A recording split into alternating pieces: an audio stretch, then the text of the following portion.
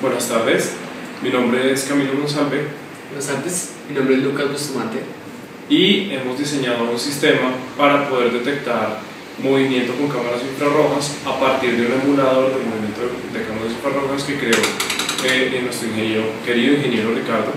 Y nosotros lo que desarrollamos fue la integración de la pantalla infrarroja para poder desarrollar juegos en flash y detectar el movimiento. Entonces vamos a explicar básicamente cuál es el funcionamiento y a hacer una, una petición de requerimientos a nuestro querido colega Ricardo para que podamos seguir mejorando el sistema de detección. Entonces, nuestro querido amigo Lucas nos va a explicar cómo funciona. Este es mi SWF. Aquí está mi espacio de trabajo. Entonces, esta es una grilla que está representada por 18 píxeles por 22. Cada cuadrito significa una instancia y un- una acción de acuerdo a lo que yo vaya a realizar. Iniciamos el emulador de Ricardo por aquí. Aquí como podemos ver el movimiento del círculo del emulador de Ricardo se está comportando tal cual en el, en el Flash Player. Aquí lo que hace es una actualización de coordenadas. El emulador de Ricardo lo hace cuatro veces por segundo.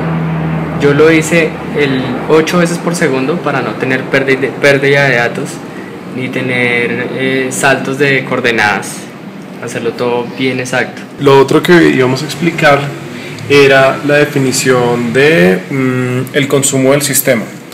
Si nosotros miramos aquí en en el sistema, esta aplicación se llama Flash Player 10 y yo clasifiqué mis archivos por uso de memoria en el en Flash Player. Nos damos cuenta que está consumiendo solamente 9 megas de, de memoria RAM, mientras que el Bamboo Dock, que es esta pequeña aplicación que es para, para poder configurar una tabla digitalizadora, está consumiendo 46 megas. Si yo cojo, por ejemplo, el navegador de Google Chrome, que está aquí, el navegador de Google Chrome, ya de entrada, por ejemplo, si abro YouTube, que es algo que normalmente la gente hace para poder entrar a, mm, a un café internet o cualquier archivo raro, él está consumiendo aquí, por ejemplo, vamos a mirar, que está Google Chrome está consumiendo, por ejemplo, 30 megas.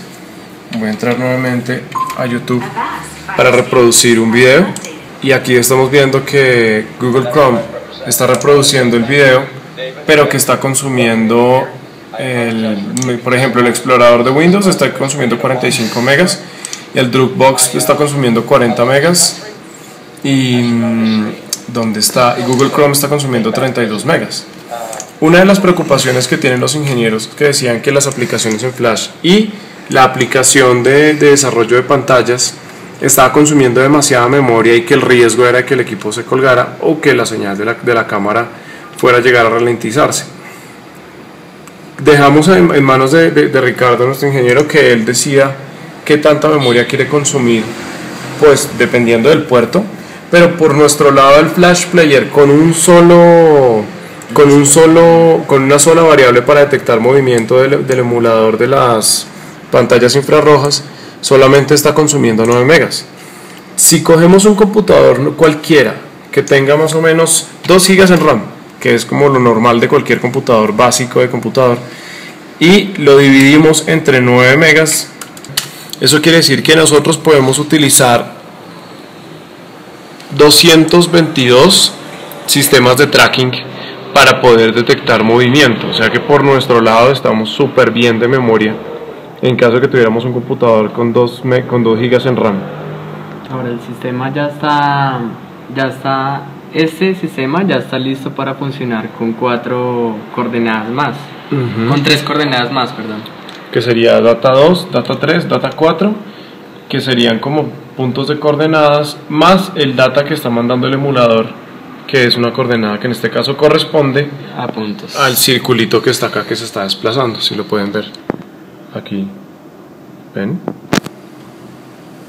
Entonces, para ver el ejemplo, vamos a crear en data 2 una coordenada cualquiera, digamos eh, A7.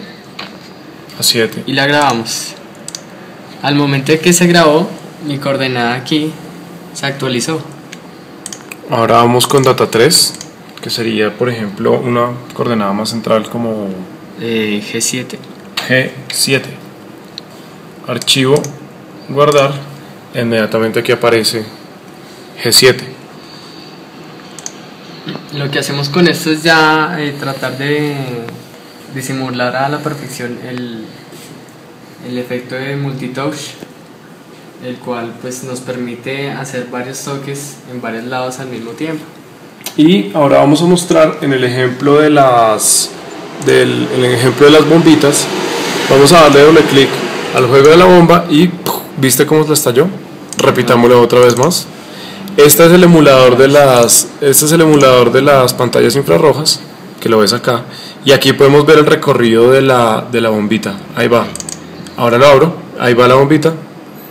Y cuando pasa por encima de la bomba, la va a estallar.